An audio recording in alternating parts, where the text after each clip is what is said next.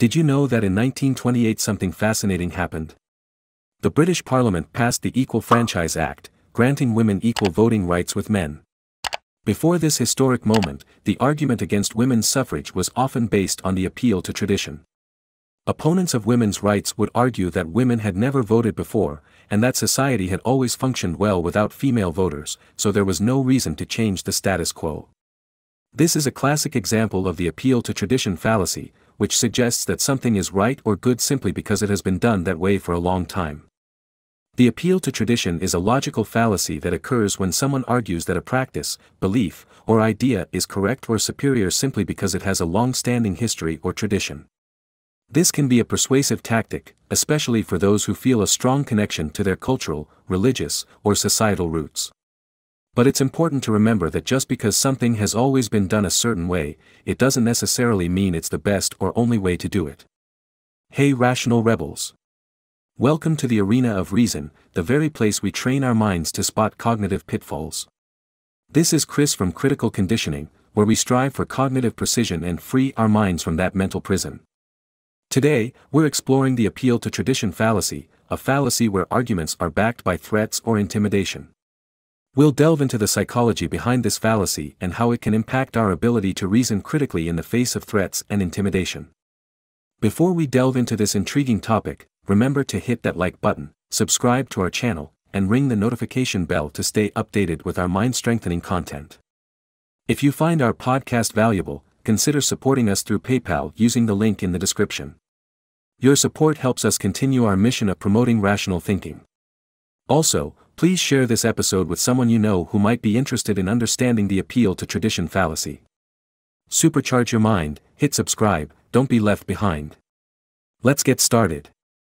Let's explore two concrete studies that examine the appeal to tradition. In the first study, researchers from the University of Amsterdam investigated how people respond to the appeal to tradition when it's used in persuasive messages. They found that people are more likely to be persuaded by an argument that cites tradition when they identify strongly with the group or culture associated with the tradition.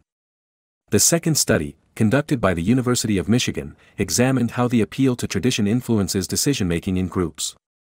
The researchers discovered that groups are more likely to rely on traditional practices when faced with uncertainty, as it provides a sense of stability and familiarity. Now that we've discussed these studies, let's look at some easy to spot real world examples of the appeal to tradition.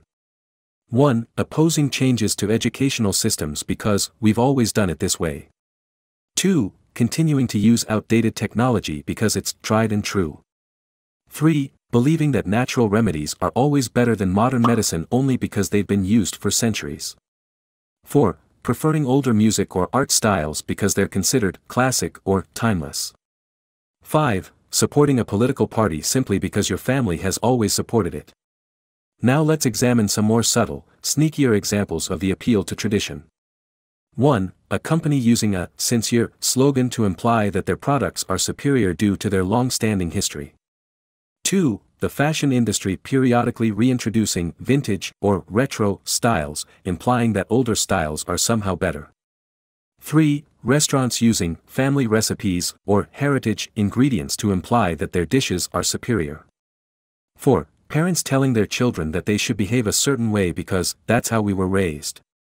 5. Advocating for specific sports teams or clubs because they have a long, successful history. Individual differences can play a role in determining who is especially at risk of falling for the appeal to tradition. Research suggests that older adults or those with a strong sense of cultural identity are more susceptible. Additionally, people who have a high need for cognitive closure or prefer clear-cut, unambiguous information might be more prone to the appeal to tradition. To help you spot the appeal to tradition, consider these tips. 1. Pay attention to arguments that rely heavily on the past or tradition as their main source of support. 2. Analyze the reasons given for maintaining a tradition and determine whether they are based on logic and evidence, or simply on the tradition's long-standing history. 3. Be aware of the context in which an argument is presented. If it's playing on your emotions or sense of identity, it might be using the appeal to tradition. To avoid falling victim to the appeal to tradition, keep these strategies in mind. 1. Cultivate critical thinking skills and question the validity of arguments, even if they don't align with your personal beliefs or values. 2. recognize that just because something has been done a certain way for a long time doesn't mean it's necessarily the best or only way. 3. Be open to new ideas and perspectives that challenge traditional norms and practices. Remember, always question the validity of arguments based on tradition, and be open to new ideas that challenge the status quo. So, rational rebels, what are your thoughts on this fallacy? Have you or someone you know experienced a similar situation?